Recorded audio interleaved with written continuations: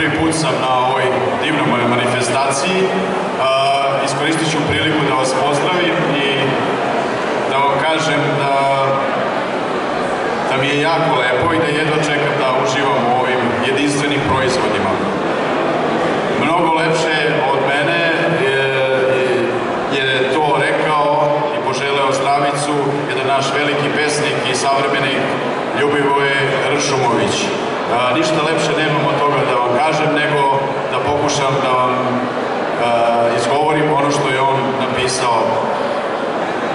Narode, šta god radio, deca ti se rađala i kada pevao i kada snevao i mukama odolevao, deca ti se rađala.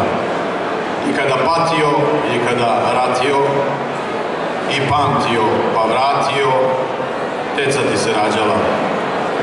Nek ljubav nadjača, nek ne bude plača, osim dečijeg. Silni nek se svađaju, glupi nagađaju, tebi nek se rađaju.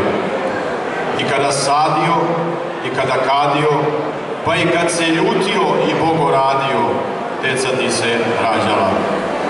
A da će Bog da rodi zob i uzni glas i da bude i za konje i za nas. I kada sveca slavio, i kada školu pravio, i kada se u čudu čudom bavio, deca ti se rađala, narode srpski. Amin Bože daj, uživajte.